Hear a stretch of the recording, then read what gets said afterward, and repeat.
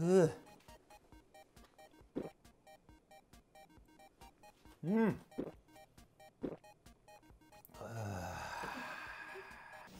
もうちょっと酔っ払ってますかね。操作が。はい。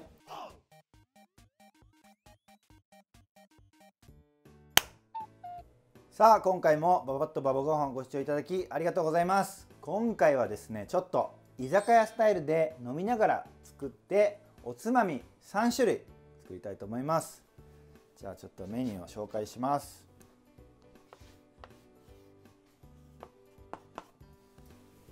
はい今回はこちらです。えのき3種。えのきを使って3種類のおつまみを作りたいと思います。しかもですね火は使いません。レンジで作るだけなので簡単に作れます。じゃあまず1品目作ってからちょっと飲みながら料理していこうかなと思います。ババッとババご飯。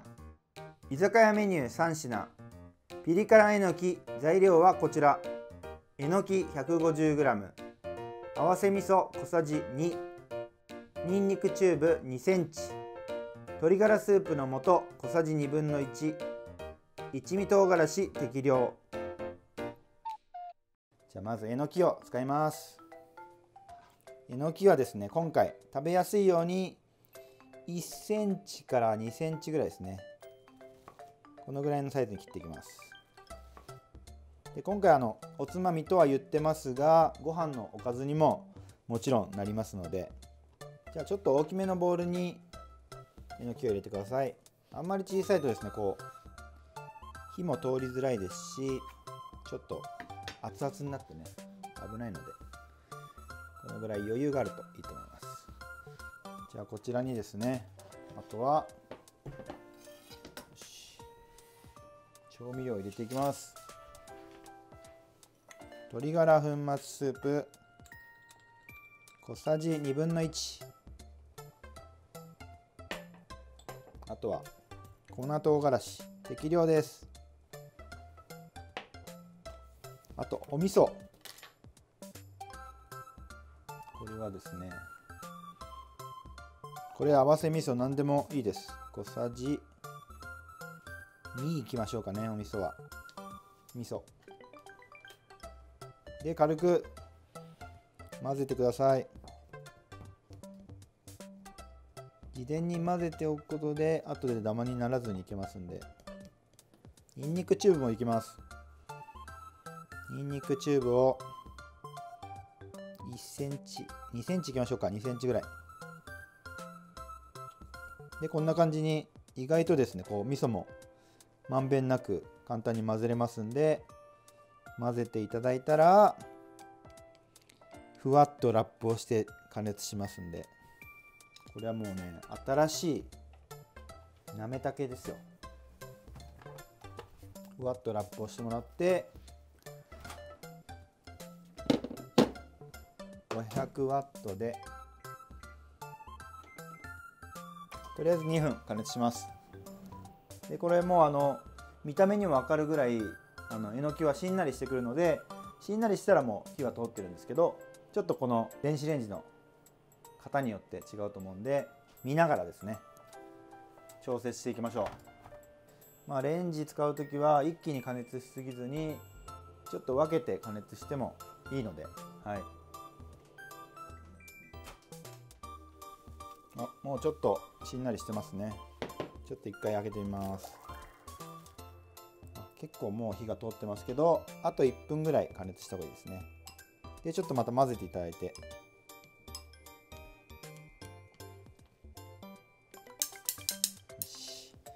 じゃああと1分加熱します。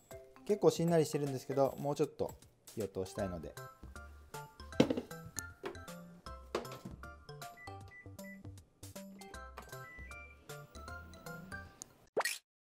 ババッとババご飯。じゃあ2分3 2分1分ですね。加熱したものがこちらです。あいい感じにほらちょっととろみも出てなめたけっぽくなってるでしょこれ。はい。でこちらでもう完成なのでまず1品目ですね。じゃあこれに盛り付けましょう。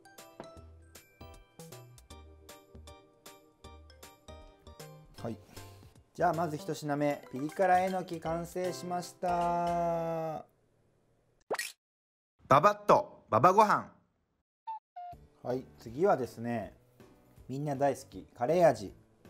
カレーマヨえのきポン酢を作りたいと思います。ババッとババご飯。カレーマヨえのき。材料はこちら。えのき 150g 鶏ひき肉 100g ポン酢小さじ1カレー粉小さじ1分の1マヨネーズ小さじ3じゃあ同じようにまたこれも1センチから2センチぐらいのサイズでもうちょっと食べ応えが欲しいわとかもうちょっと細かいわっていうのは皆さんで調整してみてください。じゃあ今回は鶏胸ひき肉にカレー粉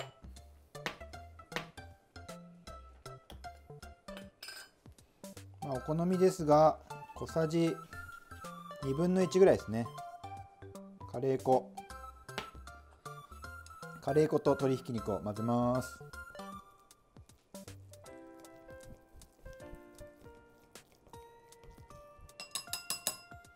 でここにえのきを入れます。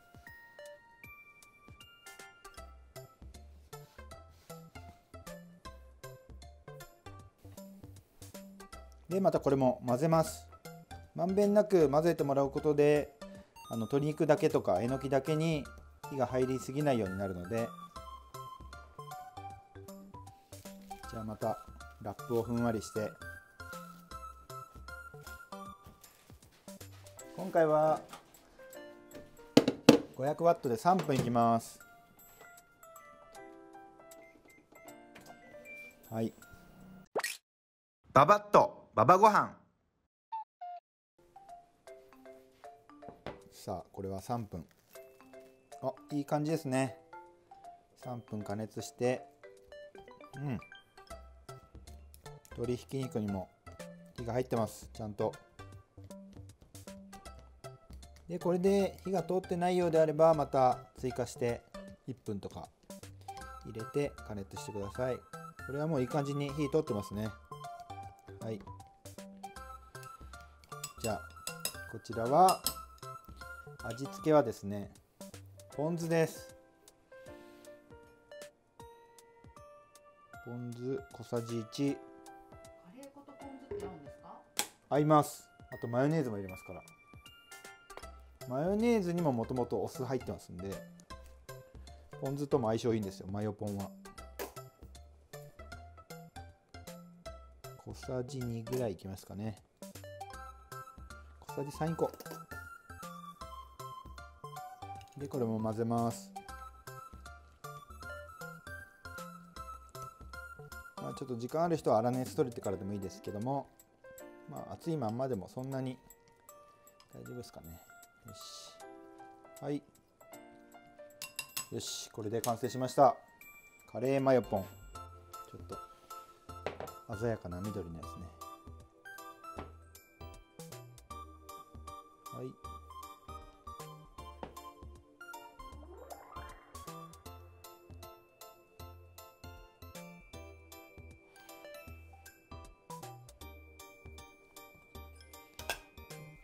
はい。こちらでカレーマヨポンえのき完成しました。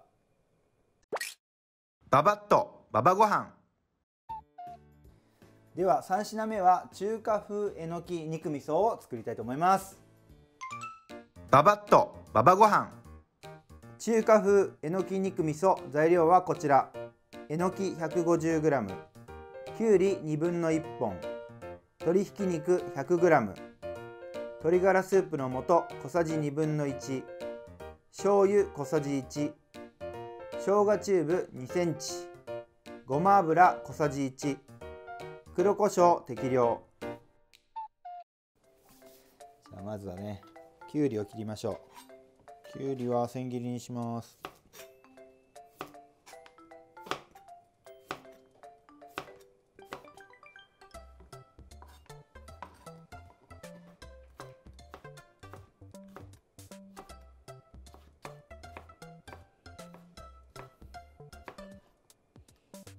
きゅうりの千切りと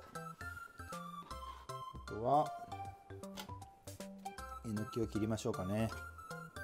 また今回も同じサイズですね。じゃあ続いてはですね鶏ひき肉また使います、まあ、今回鶏ひき肉ばっかり使ってますけど豚とかでも全然大丈夫なので。はい。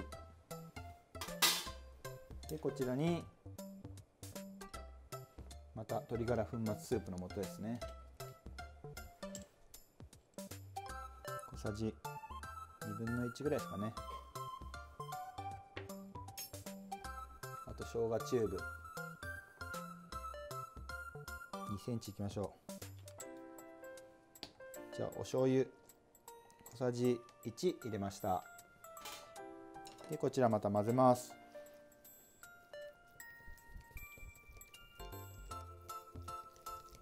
じゃあここにまたえのきを入れます。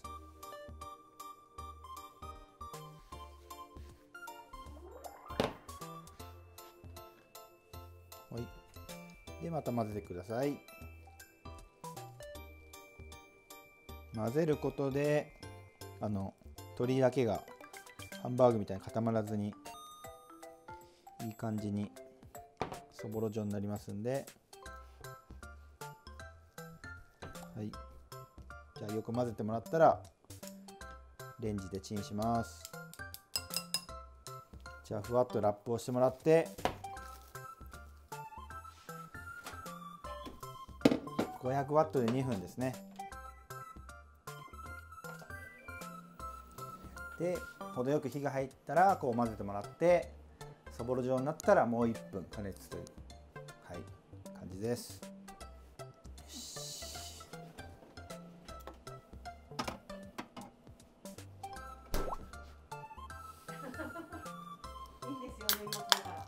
そうですね。はい1年頑張りましたんで。今年も1年ありがとうございました。50万人突破したりとかね。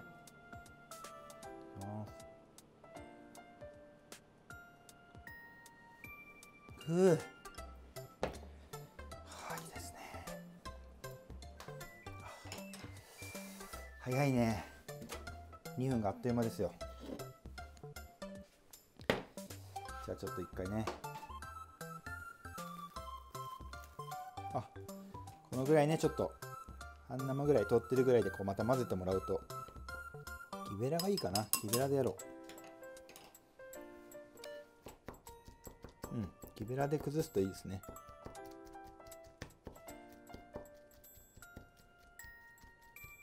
よしこれであと1分ぐらいですね。またレンジでチンすると。ちょうど火が入りますんで。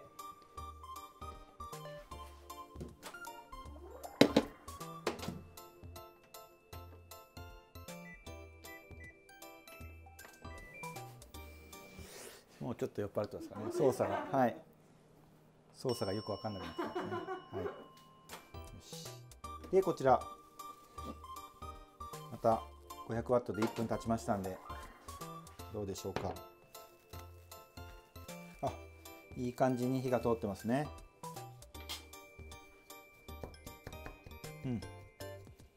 まあ、これは木べらでちょっとね崩してもらうとそぼろ状になりますんで。はいこんな感じで綺麗に火が通ったのではいこちらはですねごま油。小さじ1ですね。小さじ1のごま油とあとはブラックペッパー。これ結構たっぷりめにあのお子さんとかねご飯のおかずにする場合はそんなにブラックペッパー入れなくても大丈夫ですがちょっと多めに入れました。じゃあこれ盛り付けましょうかね。これいきましょうか。横長のね。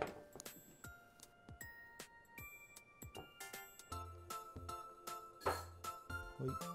こんな感じで。で上にですねきゅうりをトッピングしましょうかね。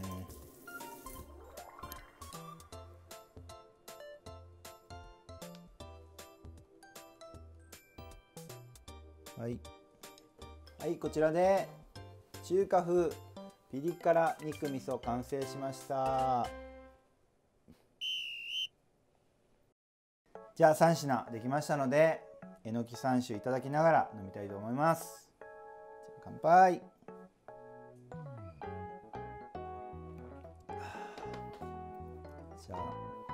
マヨポン酢カレーマヨポン酢えのきいただきます。いただきます。うん。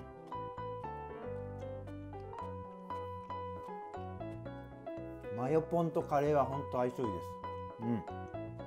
和え物とかね。サラダにももちろんいいですけどえのきにも相性抜群ですね。じゃあちょっと中華風。うん